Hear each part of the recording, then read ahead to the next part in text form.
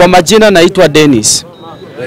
Niliona ule conman amechukua grupu yake amepeleka Shakahola, eti ile Shakahola wasitoe uji wake. Mi nataka kuuliza William, wewe kama uli, ulitengeneza watu, wewe kuja tu kilina bibi yako, acha kushinda kusumbua watu bwana. Wewe nataka tupikisha chengo, tupikishe chengo, tupiki mpaka lini? Mimi nataka kuambia William, sisi tunajua hao wananchi wakupendi vile vile vile pastor alisema, lakini unaenda huko kufunika. At imagine badala badala achu, badala achukue badala achukue watu wako neutral, anaenda kuchukua mkale mwenzake atiendi atalidi hiyo group. Sasa amechukua paka Kenya Power Mkalenjin, hata ule mtu wa kuchunga choo huko State House ni Mkalenjin. Kwani Kenya ni wakale?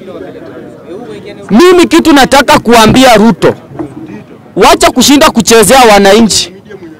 Saa hii saa hii vile tunaongea na nyinyi, wana wamama wanateta sana, wamama wanalia. Paul,